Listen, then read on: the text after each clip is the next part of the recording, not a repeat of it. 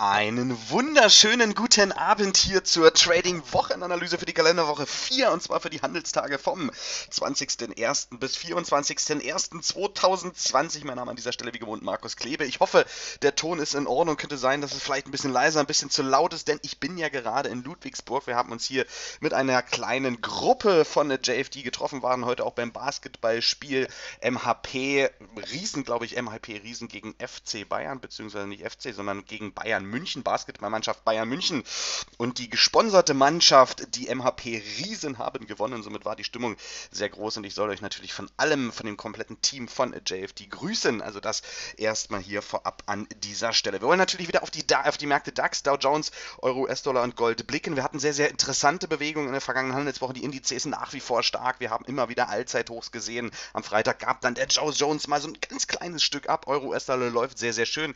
Auf der Abwärtsseite Gold ist ist ein bisschen am Einschlafen. Also wir werden uns natürlich mit den markttechnischen Bedingungen bzw. Gegebenheiten und eventuellen Chancen für die Handelswoche, für die kommende Handelswoche hier jetzt in den nächsten Minuten beschäftigen. Wie gewohnt erstmal an dieser Stelle ganz kurz der Risikohinweis, lest euch diesen bitte durch. Achtet bitte grundsätzlich darauf, dass ihr natürlich mit Stops arbeitet, dass ihr die Positionsgröße entsprechend an euer Konto anpasst, dass ihr all das, was ich hier sage, an Setups formuliere, gegebenenfalls auf Vortrade definitiv nicht als Handelsempfehlung wertet, sondern lediglich als kleine Informationsquelle zusätzlich zu eurem eigenen Trading, zu euren eigenen Analysen. Und wenn ihr weitere Fragen zum Trading oder zum Broker habt, dann natürlich auf der Website von jfdbank.com. Hier könnt ihr noch diverse Fragen zum Trading oder natürlich auch zum Broker beantwortet bekommen. Und wir switchen mal direkt auf die Website von JFD. Ich klicke mal hier das Bild von der Streaming-Software weg, denn ich bin wie gesagt unterwegs und habe nur den Laptop heute, somit keinen zweiten, dritten oder vierten Bildschirm, sondern nur einen Bildschirm. Und wir blicken hier mal ganz kurz auf den Eventkalender für die kommende Handelswoche.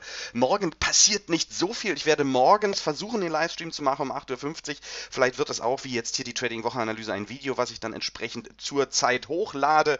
Am Nachmittag aufgrund dessen, dass morgen auch Feiertag in den USA ist, werden wir auch gleich darauf eingehen, wird die US Opening Bell morgen nicht stattfinden. Ich werde dort auch wahrscheinlich noch nicht ganz im Office sein, denn ich fliege morgen erst zurück und somit wird das Ganze dann morgen ein wenig knapp. Aber am Dienstag starten wir dann wieder mit Vollgas durch, mit den Livestreams, mit dem Live-Trading-Room, zusammen mit Andreas Müller, 10.30 Uhr. Und dann geht es natürlich auch über die Woche dann entsprechend weiter. Ihr seid herzlich zu allen Events eingeladen. Würde mich freuen, wenn ihr natürlich wieder in Fülle und Hülle, Hülle und Fülle mit dabei seid. Wir blicken auf die Wirtschaftskennzahlen für die kommende Handelswoche. Da kommt nicht so viel raus. Dennoch kommt ein wichtiges Event, da gehen wir gleich drauf ein. Erstmal vorab am Dienstag ZDW-Umfrage Konjunkturerwartungen. Dann kommt Mittwoch nicht ganz so viel, eine ganze Menge aus Kanada, so mit entsprechend dann äh, die Währungen etwas interessanter am Donnerstag. Dann, da wird spannend EZB-Zinsentscheidung. Vielmehr ist gar nicht die Zinsentscheidung, die hier so spannend wird. 13.45 Uhr, wird erwartet, dass am Zins nicht viel passiert, aber um 14.30 Uhr mit dem Statement, mit der Pressekonferenz geht es hier darum, dass die strategische Ausrichtung der EZB kundgetan wird, beziehungsweise dass es hier von Christine Lagarde mal darum geht, was wird sie eventuell ändern, welche Richtungen könnten sich hier gegebenenfalls anpassen, abgewichen von Mario Draghi. Also da kann durchaus Bewegung am Donnerstag auf die Märkte kommen. Ich habe auch gleich nochmal einen Artikel vom Handelsblatt, den ihr euch da entsprechend durchlesen könnt. Am Freitag dann aus Deutschland Einkaufsmanager Index verarbeitendes Gewerbe. Könnte auch ein wenig Bewegung gegen, geben. Market PMI Gesamtindex und aus der Eurozone ebenso Market PMI Gesamtindex. Hm, nicht so in meinen Augen Bewegungszahlen, aber dennoch sollte man so ein bisschen drauf schauen. Da könnte so ein bisschen Zucken in die Märkte kommen. Alles in allem werden wir kommende Handelswoche lediglich am Montag den Feiertag in den USA haben und die Zinsentscheidung EZB dann entsprechend am Donnerstag, was entsprechend ja einmal für Ruhe und einmal für ein bisschen Action an den Märkten führen könnte. Aus den USA bekommen wir nichts Nennenswertes, was wir da erstmal zumindest von Wirtschaftskennzahlen als Market Mover bezeichnen können. Somit werden wir uns gleich natürlich mit der Charttechnik beschäftigen und da ist es erstmal natürlich erstmal zumindest in den Indizes weiterhin die Aufwärtsseite. Ich werde euch entsprechend hier zu diesem Artikel vom Handelsblatt, wie ich es eben gesagt hatte, zu dem Punkt EZB-Entscheidung bzw. Pressekonferenz und Statement dann einen Link unter das Video packen. Da könnt ihr dann draufklicken und euch diesen Artikel mal durchlesen. Ich möchte da jetzt in der Trading-Wochenanalyse hier gar nicht so detailliert drauf eingehen. Ganz kurz auch nochmal hier auf den Blick auf die New York Stock Exchange. Hier haben wir ja so, so einen Holiday-Kalender, also so einen Kalender, wo dann eben äh, zum einen hier die New York Stock Exchange zu hat. Man kann das natürlich auch für andere Börsen machen. Wir schauen gleich mal im MetaTrader, wo ihr dann herausfinden könnt, wie denn eure Märkte zu diesen Feiertagen offen sind oder eben auch nicht offen sind. Wichtig ist, Montag ist Feiertag in den USA und somit haben wir hier erstmal grundsätzlich keinen Handel, führt auch dazu, dass entsprechend die Indizes etwas früher schließen. Ganz kurz nochmal, bevor wir dann auf den Chart blicken, erneut auch der Blick auf den Fear and Greed Index hier ähm, ja, ausgerechnet oder abzielend auf den S&P. Hier geht es ja darum, das Sentiment der Marktteilnehmer nach wie vor sehr, sehr bullisch und ja, der Markt zeigt es. Wir sahen hier fast täglich neue Allzeithochs und von daher ist hier auch natürlich die Stimmung weiterhin hoch und solange sie hoch ist, ist es natürlich auch erstmal denkbar, dass der Markt weiter steigt und wenn dann aber auch mal ein Anzeichen kommt, es könnte mal nach unten gehen, kann das mitunter auch etwas stärker vonstatten gehen. Somit müssen wir uns nicht nur oder sollten uns nicht nur mit der Aufwärtsseite beschäftigen, sondern natürlich uns auch wichtige charttechnische Level immer anschauen. Dann früher oder später, wenn der Markt mal ein wenig wegknickt, kann das auch ein bisschen stärker vonstatten gehen. Der Markt ist sehr, sehr überhitzt. Solange wir aufwärts gehen, ist der Markt natürlich weiter aufwärts. Aber wenn es dann mal knackt, werden wir uns charttechnische Punkte anschauen, wo es dann interessant werden könnte. Also, wir blicken erstmal ganz kurz, das hatte ich euch noch versprochen, im MetaTrader. Ihr habt hier oben die Möglichkeit, auf den Punkt Terminal zu klicken. Ihr habt auch die Möglichkeit, noch auf den Punkt Ansicht zu gehen und dann auf den Punkt Terminal, teilweise auch im MetaTrader 5, gibt es diesen Button Terminal manchmal nicht, je nach Einstellung, aber oben auf den Punkt Ansicht, auf den Punkt Terminal. Kommt hier unten dann das Terminal, entsprechend da gibt es einen Reiter, der heißt der Posteingang und in diesem Posteingang wiederum gibt es eine Mail, Market Holidays January 2020 und da geht ihr gerne rauf und dann findet ihr für den 20.01. für den Martin Luther King Day in Amerika entsprechend dann die Märkte, die dort gegebenenfalls eher schließen oder vielleicht gar nicht erst offen haben. US Equities somit komplett geschlossen. Gold und Silber schließt um 18 Uhr London Time wohlgemerkt hier immer in diesem Kalender und dann die Indizes gerade was uns ja interessiert Dow Jones, S&P und auch unserer DAX schließt entsprechend etwas eher 18 Uhr London Time die US Märkte und 21 20 Uhr entsprechend London Time, der, ähm, ja, unser DAX, WTI entsprechend 18 Uhr und dann scrollen wir nochmal nach unten. Hier ist es noch wichtig für diejenigen, die Hongkong 50 Index handeln. Da ist am 24.01. auch nochmal ein Feiertag und entsprechend schließt der Markt da auch etwas eher. Das jetzt nun mal zu den Feiertagen, was da bedeutet ist, ist morgen durchaus denkbar, dass wir nicht so viel Action bekommen, dass der DAX sein Eigenleben führt. Allerdings ist das Eigenleben, muss man zugegebenermaßen sagen, natürlich auch aktuell sehr, sehr stark. Der Markt, wenn wir mal ganz kurz vorweggreifen, und mal kurz auf den Dow Jones schauen, hier im 4-Stunden-Chart ganz sehr stark komprimiert. Wir blicken aktuell hier bis in den April 2019 zurück und wir sehen, dass der Markt erneut neue Allzeithochs ausgebaut hat, den Bereich um die Marke oberhalb von 29.400 angelaufen hat in Richtung 29.500 und wir hatten ja am Anfang des Jahres beziehungsweise auch zum Ende des Handelsjahres darüber gesprochen, dass es 2020 durchaus denkbar sein kann, dass wir die 30.000 sehen. Naja, vielleicht sehen wir die 30.000 eher als erwartet erwartet. Ich meine, der Januar hat nicht mehr ganz so viele Tage, aber es ist noch etwas mehr als eine Woche. Und mal gucken, wenn das so weitergeht, denn seit Start des Handelsjahres haben wir in der Range mehr als 1000 Punkte abgearbeitet und es sind zum oder vom Hoch zum 30.000er Bereich nur noch so gute 500 Punkte. Also logischerweise kann das definitiv relativ zügig passieren. Was ich euch damit sagen will für die Analyse des DAXes, der US-Markt ist sehr, sehr stark. Und der DAX hatte sich ja erstmal auch in der vergangenen Handelswoche, dann auch zum Start der Handelswoche, ja, leicht schwach gezeigt. Nicht extrem schwach. Wir sehen auch hier den Start des Handelsjahres sehr, sehr stark am Beginn. Moment, ich habe mein Zeichenwerkzeug noch gar nicht offen. Das nehme ich mir natürlich auch immer gerne dazu, um euch das hier auch dann eben grafisch zu zeigen, wovon ich denn rede. Also wir hatten hier eine sehr, sehr schöne, nachdem wir erstmal auch so ein bisschen ins Minus weggedriftet sind zum Anfang des Jahres, aber nicht nennenswert. Wir hatten allerdings auch mal so ein paar kleinere Abwärtsbewegungen, sind wir ja sehr, sehr stark gestiegen und haben dann eine sehr, sehr flach abfallende Konsolidierung gesehen, hatten dann in der vergangenen Handelswoche auch gesehen, okay, hier kann man sehr, sehr schön sauber eine Trendlinie zeichnen, hatten dann als allererstes mal kurz so einen Fehlausbruch. Allerdings selbst dieser Fehlausbruch war so volatil, dass man da auch durchaus Geld verdienen konnte, zumindest im Daytrading. Und dann kam eben der finale Ausbruch zum Ende der Handelswoche Donnerstag zum Nachmittag der Freitag, beziehungsweise zwischen Donnerstag und Freitag hatten wir dann auch so ein Gap nach oben und dann war der Freitag entsprechend stark. Und wir stehen vor allem jetzt wieder kurz vor den Jahreshochs. Vergangene Handelswoche wurden dann die Jahreshochs rausgeholt. Wir sind hier sehr, sehr stark zum Ende der Handelswoche gewesen und stehen jetzt hier sehr, sehr stark nach wie vor. Der Bereich der Allzeithochs im DAX ist nicht mehr weit weg. Also, wir haben hier in meinen Augen eine realistische Chance, dass wir in den nächsten Tagen im DAX neue Allzeithochs sehen können. Das ist der Bereich um die Marke 600, 13.600.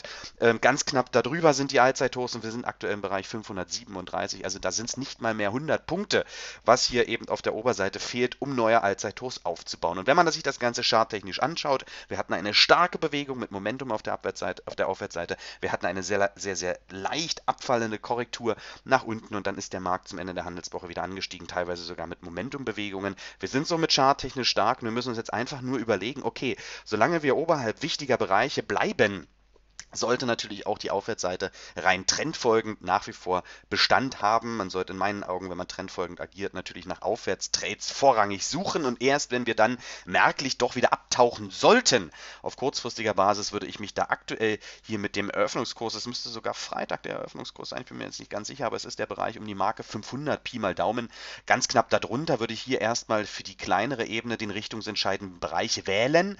Also solange wir jetzt hier oberhalb der gut 500 bleiben, Leichte Rücksetzer wären erlaubt um dann eben erneut die Aufwärtsseite zu handeln. Die, das mittelfristige Bild wäre sogar, dass ich sagen würde, okay, wir hatten aus der vergangenen Handelswoche den Bereich um die Marke Pi mal Daumen so 450. Das ist so in etwa diese Area, die wir eine Zeit lang als Widerstandsbereich hatten. Und das müsste der mittelfristige richtungsentscheidende Bereich sein. Was für mich bedeutet, ich bin hier oben nach wie vor relativ vorsichtig mit Shorts, gerade wo wir jetzt wieder nach oben ausgebrochen sind. Aber, und das hat uns auch in der vergangenen Handelswoche Geld gebracht, es ist zumindest zumindest so weit gewesen, dass der DAX ja nicht, auch gerade zum Start der Handelswoche verhältnismäßig schwach war und selbst wo er anfing, Stärke zu zeigen an charttechnisch wichtigen Punkten, dann zwischenzeitlich auch immer mal erstmal so ein Stück wieder wegdippte.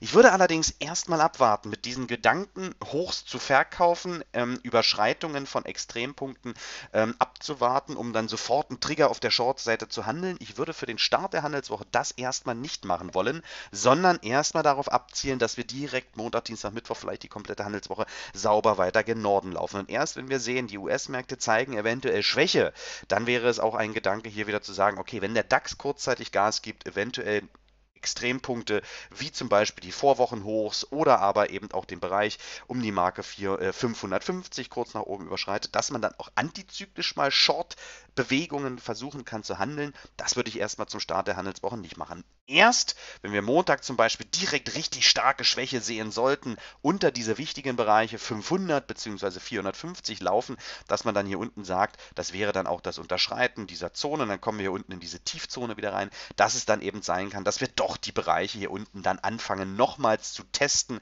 und vielleicht eine etwas schärfere Gegenbewegung kommt. Das sieht aktuell nicht danach aus, das muss man sagen, aber es kann natürlich passieren. Da oben bin ich erstmal zum Start der Handelswoche vorsichtig. Wir werden das über die Woche anpassen anpassen, wo ich dann vielleicht auch sage, okay, jetzt ist es soweit, jetzt kann man eben auch mal versuchen, wenn Stärke reinkommt, bestimmte Kriterien erfüllt sind, dass man dann eben auch mal antizyklisch shortet.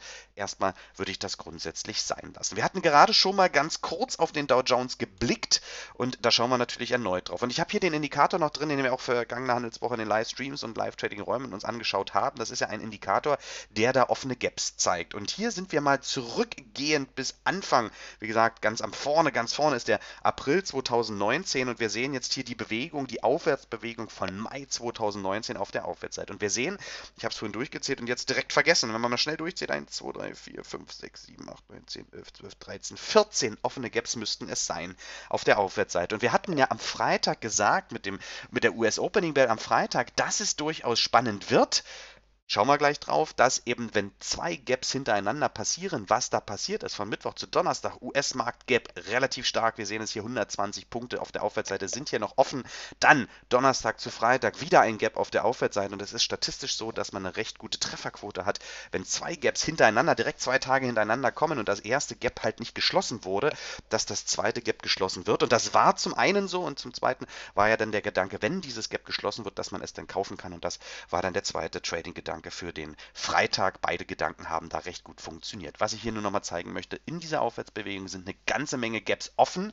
Und was jetzt natürlich auf der Unterseite lockt, ist dieses eine Gap, das letzte offene Gap quasi aus der vergangenen Handelswoche um die Marke 29.040. Und das ist dann eben auch, das will ich euch jetzt nur nochmal zeigen, so der richtungsentscheidende Bereich in den US-Märkten für die kommende Handelswoche. Wir haben ja auch vorher in diesem Bereich mal so einen Hochpunkt gehabt, ne, dann sind wir nach unten gelaufen, sind dann im nächsten Zuge wieder schön durchgelaufen.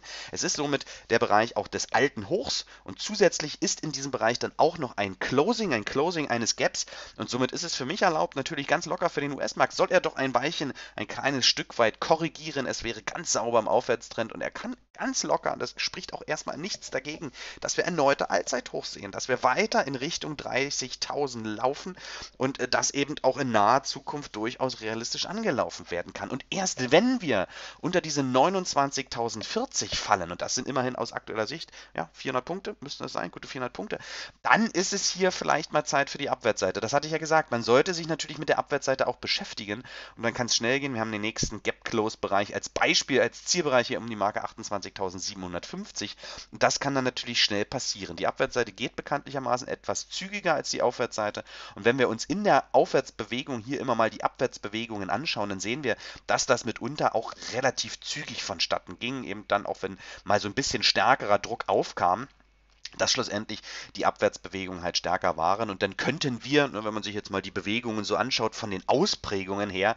auch ganz locker in den Bereich 750 rutschen. Und da hier diese Aufwärtsbewegung dann auch sehr, sehr stark war, kann es dann auch etwas weiter nach unten gehen. Wenn es soweit ist, werden wir uns damit beschäftigen. Wichtig ist jetzt hier erstmal der richtungsentscheidende Bereich, ganz knapp oberhalb von 29.000. Solange der US-Markt da drüber bleibt, ist auch, sage ich mal, die Vorzeichen der US-Märkte positiv. Auf kleinerer Ebene könnte man hier natürlich auch schauen, wenn sich entsprechende Situationen Situationen ergeben, so wie Freitag, dass man es dann auch mal auf kleineren Ebenen mit der Abwärtsseite antizyklisch, auch hier immer antizyklisch. Und wer da eben sagt, ich bin ein konservativer Trader, ich handle zum Beispiel eher oder nur positiv in Richtung des Trends, nur prozyklisch, ähm, der solle hier eben nicht shorten, ja, weil das ist wirklich eine aggressivere Überlegung. Und für mich ist es auch so, wenn ich solche Dinger fahre, dann ist meine Trefferquote teilweise relativ gering, aber ich treffe die Punkte da recht gut und somit hat man eben trotzdem relativ interessante Chance-Risiko-Verhältnisse. Aber dennoch ist es natürlich immer antizyklisch. Wir gehen mal auf den Stundenchart, schauen uns das Ganze auf kleinerer Ebene an. Ganz kurz auch die Freitagsüberlegung. Der Gedanke war, dass wir hier in den Donnerstagsschlusskurs, das ist diese gelbe Linie, reinlaufen. Das war der Gedanke vor der US-Markteröffnung um 14.45 Uhr am Freitag. Und wir sehen, dass der Markt zum einen in diesen Bereich punktgenau reingelaufen ist, sich wieder erholt hat, dann nochmal in den Bereich kam, nochmals ein Stück nach oben kam und jetzt eben den Schlusskurs ganz knapp darüber fand. Gut, wir sind jetzt hier nicht, drei, nicht 400 Punkte oberhalb der äh, 29.040, sondern nur 300 Punkte. So, und hier wird es jetzt wirklich spannend, was der Markt macht. Für die für die antizyklischen Händler wird es halt wirklich spannend. Montag wäre ich ein bisschen äh, persönlich vorsichtig hier, den Dow Jones zu handeln, aber durchaus denkbar, wenn wir jetzt hier diesen Schlusskursbereich, den wir Freitag zweimal getestet haben, nach unten durchlaufen, dann kann es durchaus eins, zwei Tage die Konsolidierung geben in Richtung der wichtigen Bereiche. Wie gesagt, 29.040 ist hier so ein richtungsentscheidender Bereich, würde natürlich bedeuten, wir müssten erstmal 300 Punkte tiefer laufen. Und diese 300 Punkte sind natürlich schon auch interessant, aber für den einen oder anderen sollte es eben nicht der angepeilte Trading-Gedanke sein, aber dennoch wäre es charttechnisch möglich, denkbar und vielleicht sogar nötig, um eben neue Allzeithochs auszubauen. Das, der Blick auf den Dow Jones, gehen wir auf den Euro-US-Dollar. Hier lasse ich mal erstmal auch den Tageschart, denn wir hatten ja vergangene Handelswoche ähnlich wie bei der letzten Trading-Wochenanalyse. Allerdings waren wir dort im britischen Pfund Short unterwegs, was uns dann rausholte, leider Gottes, weil der sich dann erstmal wieder so ein Stück erholte. Diesmal haben wir den Euro-US-Dollar nach gleichen Kriterien auf der Abwärtsseite aufgebaut. Wir sind ja sehr, sehr gut im Profit. Ich hatte das eben auch in den Live-Trading-Räumen erklärt, dass ich diese Position dann auch, wenn sie gut im Profit ist, laufen lasse lasse. Der erste Zielbereich ist locker angelaufen. Wir sind kurz vor dem zweiten Zielbereich und ich lasse diesen Trade laufen. Ich habe hier keinen Grund, irgendwas zu schließen, denn übergeordnet sehe ich es nicht als unrealistisch, dass der Euro-US-Dollar in Richtung der 1,10 zurückwandert. Wir hatten als erstes den Bereich 1,1109. Dann haben wir uns gesagt, okay, lass den Markt doch in den Bereich jetzt muss ich selber nochmal gucken, das war die 1 11, Moment, da muss ich selbst nochmal kurz schauen und messen, bevor ich euch hier was Falsches erzähle. 1.11.09 und dann hatten wir hier die 1.10.85. Das war der zweite Zielbereich, da sind wir fast dran. Ja, kleiner nächster Zielbereich. Und wenn wir hier durchlaufen, hier müsst ihr mal Folgendes überlegen. Für diejenigen, die auf der Long-Seite unterwegs sind, und ich kenne eine ganze Menge, die sie gesagt haben, Mensch, Euro ist das Long. Wir hatten ja auch gesagt, Mensch, es kann durchaus sein, dass wir hier einen Trendwechsel bekommen. Ne? Ich habe dem Frieden da noch nicht so ganz getraut, somit eher immer der Fokus noch so trotzdem auf der Short-Seite. Aber ähm, durchaus der ein oder andere, der Long unterwegs ist. Und wo stoppt sich ein Long-Trader ab, der jetzt hier vielleicht in den letzten Tagen auf der Long-Seite eingestiegen ist? Meistens laut Lehrbuch unter den letzten Tiefs. Und somit ist es so, am Freitag, wurden die Tiefs noch nicht getestet. kann kommende Handelswoche passieren.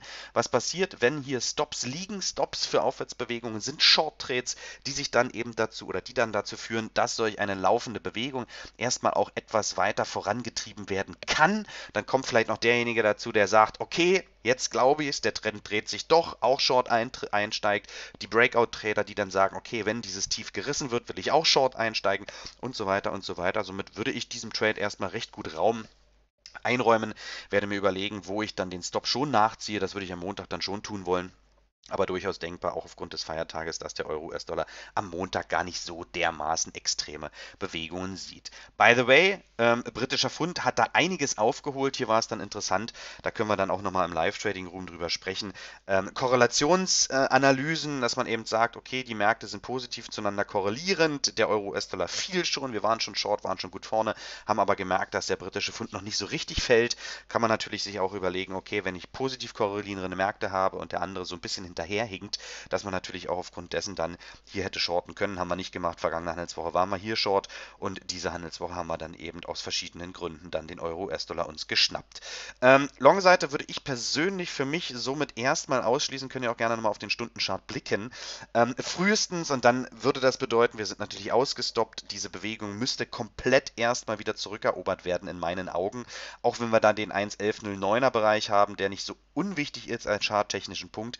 Wenn wir hier drüber kommen, aber für mich wäre es wirklich so, dass wir wenigstens über diese Hochs hier reinkommen. Das ist dann sogar, ja, das ist in etwa der Bereich, wo wir eingestiegen sind. Wir hatten hier so einen kleinen Breakout gehandelt auf der Unterseite äh, für diesen Einstieg und äh, somit müsste der Markt wenigstens in den Bereich um die Marke 1140 bis 1150 kommen, um dann hier für mich persönlich eventuell erneut die Long-Seite in Betracht zu ziehen. Somit warte ich hier erstmal ab, will hier gar kein Setup oder irgendeine Idee für Long Trades aufbauen.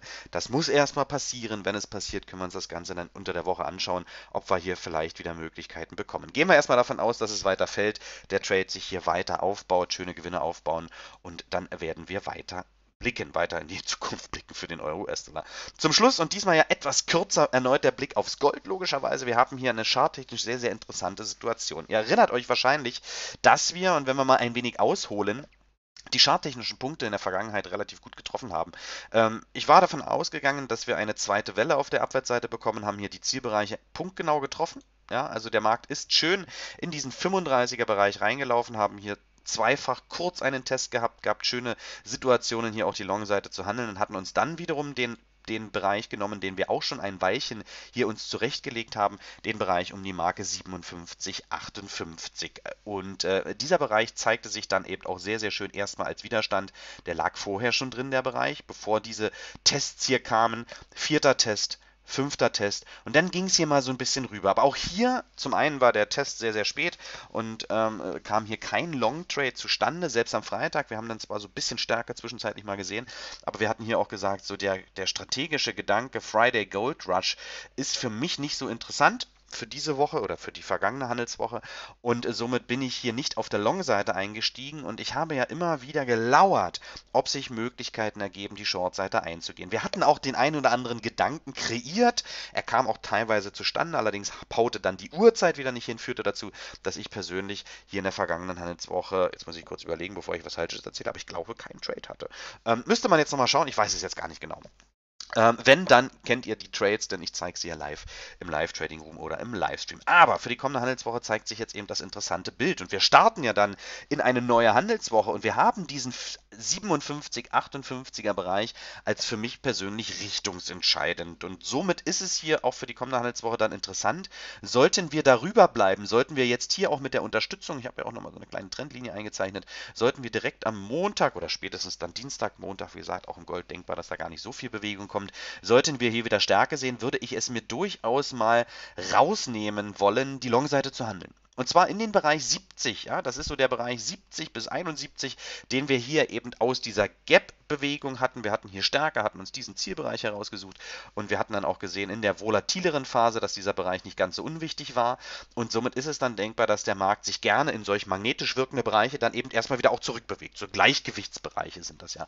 Und somit haben wir dann natürlich eine schöne Bewegung aus dem Bereich in etwa 60 in Richtung 70, 71, so 10 bis 11 Dollar ist eine schöne Bewegung, die hier äh, vollzogen werden kann. Und vor allem kann das mitunter relativ schnell gehen, denn in der Vergangenheit ist dieser Bereich, der hier eben ja aktuell jetzt dann dann wichtig ist, mitunter relativ zügig abgearbeitet worden, sogar dann hier mit einem Gap-Sprung und dann hat man hier relativ schnelle Bewegungen. Somit ist es hier nicht auszuschließen, dass dann eben der Weg in Richtung 70 ja auch innerhalb gut mal von einem Tag schnell abgearbeitet werden kann. Und somit ist hier oben erstmal oberhalb der 57, 58 halt dann die Long-Seite doch tatsächlich interessant, beziehungsweise auch relativ zügig, wenn wir da halt dann Schwäche sehen und die Volatilität idealerweise auch mal wieder so ein bisschen zunimmt, vielleicht ja auch im Gold, dass wir dann eben auch schnell die Abwärtsseite kriegen. Wobei hier werde ich erstmal wahrscheinlich ein bisschen vorsichtiger sein, denn wir bekommen hier dann ja im Bereich so um die Marke 52 Pi mal Daumen auch nochmal so ein bisschen Unterstützungsniveau. Allerdings ist das nicht ganz so ein relevanter Bereich. Der war schon wichtig, ist auch noch so ein bisschen wichtig. Der Weg dahin ist nicht so weit. Also wenn ich Trades aufbaue und ich hier oben irgendwo an der 57, 56,5 oder eben 56 Short gehe, dann sollte eine Bewegung in dem Bereich 51 bzw. 52 durchaus realistisch sein. Aber von dort kann es dann eben auch noch unterstützend direkt wieder nach oben gehen. Bedeutet, dass ich dann wenigstens schon Trade aus dem Trade Risiko rausnehmen möchte, beziehungsweise vielleicht schon Break-Even bin. Viel interessanter wird es, wenn wir diesen 51, 52er Bereich nach unten durchschreiten. Dann wird für mich das Shortbild klarer ähm, und dann ist es auch denkbar, dass wir hier diese Tiefs im Bereich um die Marke 60 Pi mal Daumen, ähm, 50, entschuldigt, um die Marke 50 ähm, nach unten durchschreiten. Und dann kann es hier auch mitunter ein bisschen schneller wieder vonstatten gehen, dass wir an diese 35er Tiefs nochmal ranlaufen, beziehungsweise hatten wir ja hier in der vergangenen Handelswoche eher mit dem Bereich 40 als Zielbereich gearbeitet, würde ich auch für die kommende Handelswoche erstmal so als Zielbereich annehmen wollen.